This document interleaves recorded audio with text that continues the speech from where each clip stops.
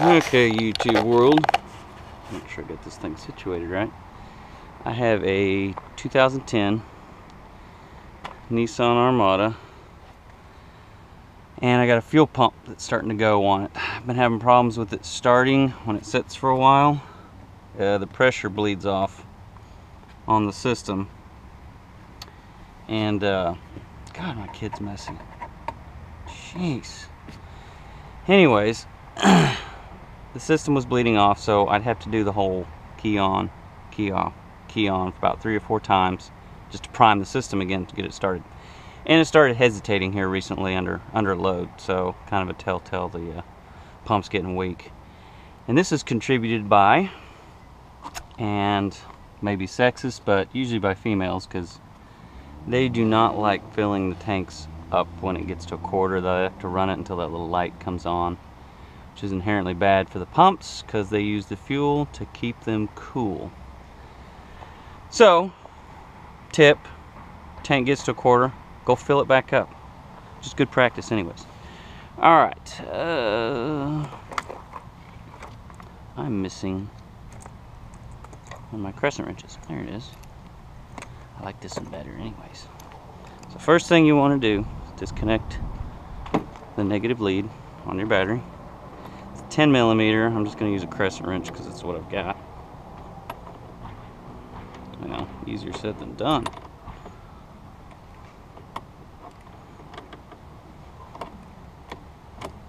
Okay.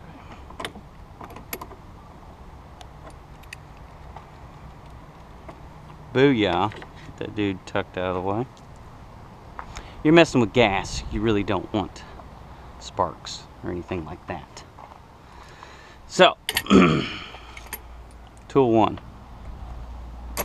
Next thing we'll be putting in, we're putting in a Delphi. Sadly, this is the second pump. The first one I bought didn't work at all. Like, what a bunch of crap. And then I sent it back. Amazon sent me this in like a day and a half. They were good about the return on it, so. Delphi is supposed to be a good brand, but hmm, we'll see. All right, so I've cheated when I first went to replace this thing, I was going to drop the tank, and then I was looking up underneath, and I saw this little panel above the tank. So, move everything back. Um, is easier if you don't care about cutting your carpet. which I don't give a crap because it's underneath the seat. There's a panel right there.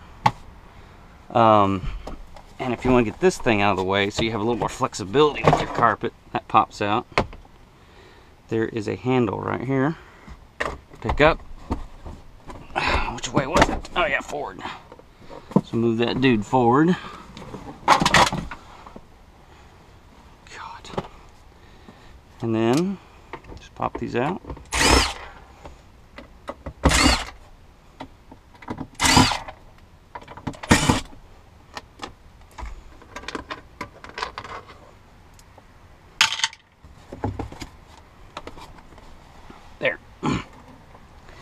That'll do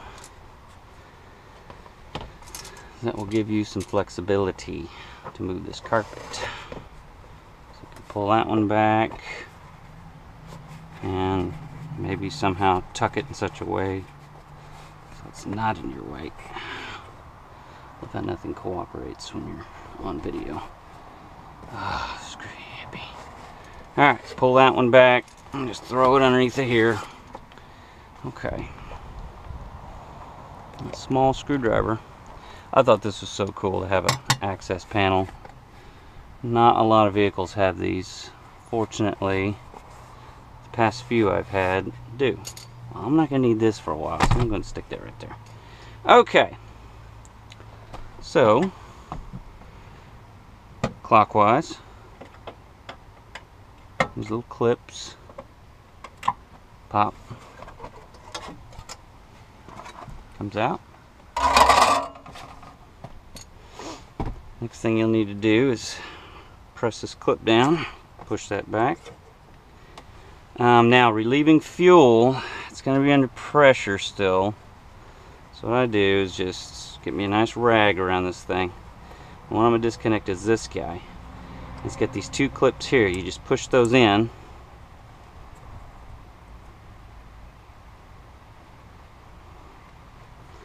Again, easier said than done. Might need a small screwdriver to help you out. Assist in the unclipping of. Now come on.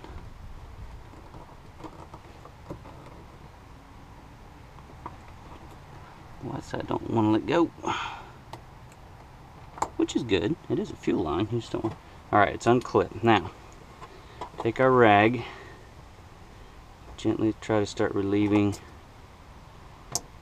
Well, as you can see, not much pressure. And this has been sitting overnight, so whatever the little valve is that keeps the pressure in the lines is just not working very well. And the pump's just not priming well either one key when the key's on.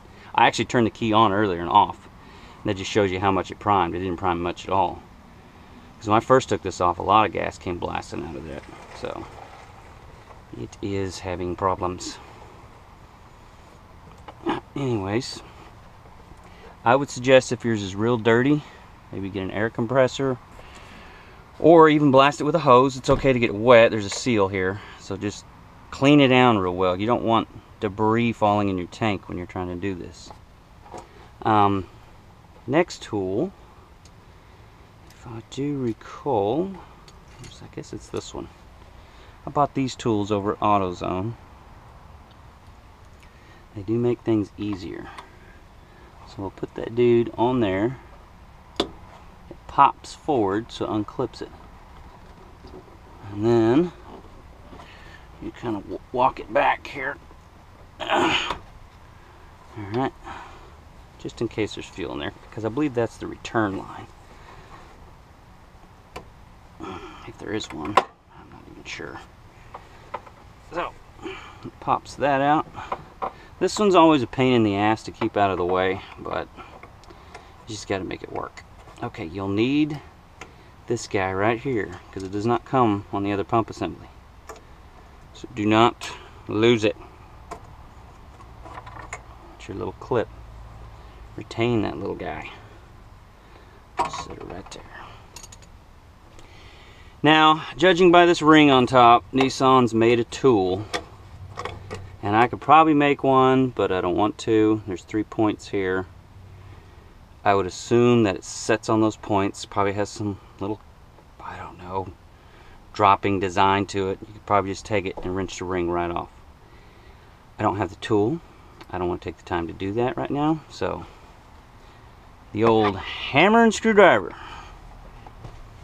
And this might take you some time. I've had mine off a few times, so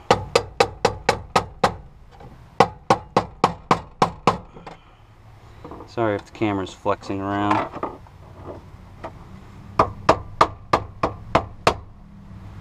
Um, Putting it back on is a little faster because you can actually go against these little stops here. This way there's ramps. I don't remember what. A lot of people are probably going to frown on this, but this is how I took it off last time. I didn't have really an issue.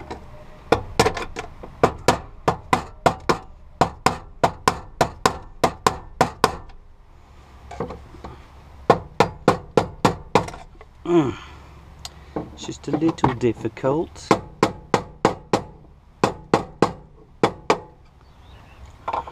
Take your time with it.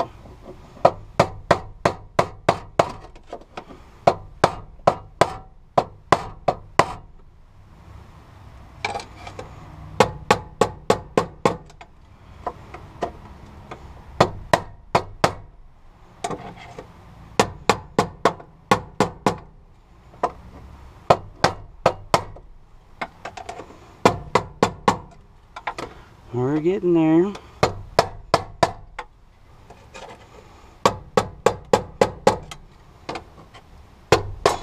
Ooh, snap. Okay.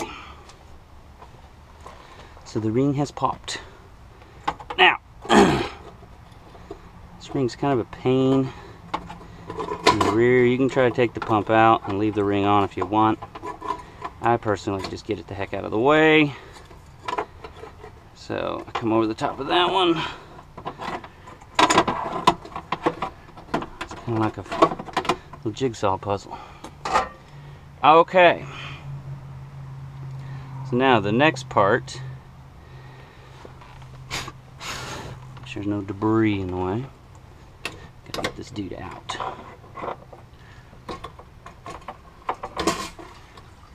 And it's full of gas, so you can tip it as much as you can. As much, whoa. Yeah, that wasn't the best idea.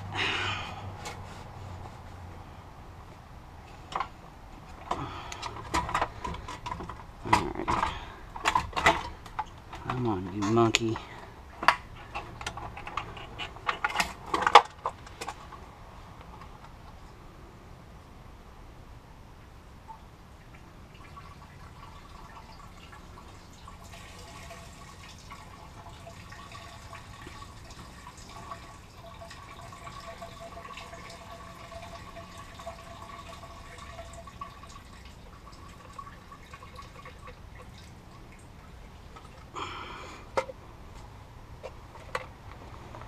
Alright.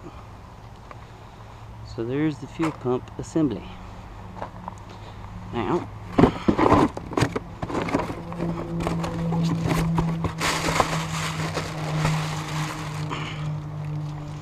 the new seal. Move that dude.